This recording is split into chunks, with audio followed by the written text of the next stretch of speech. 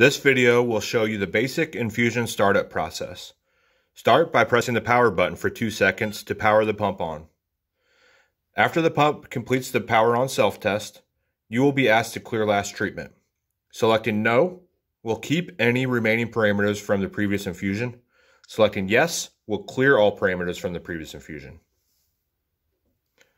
Once selected, the pump will go to the home screen.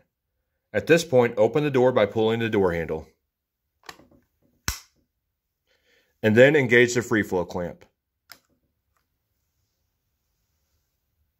Next, install the infusion line, ensuring it is fully seated in the line guide and making sure to pay attention to the direction of flow.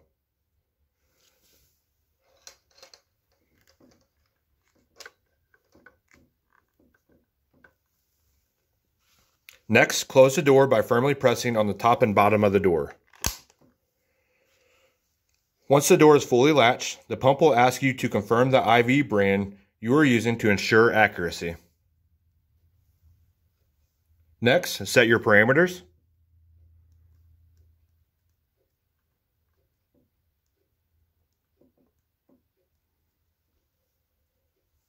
Purge any air in the line before connecting the line to the patient by pressing the purge button and either pressing and holding the purge button again to manually purge or input an automatic purge and then hit start.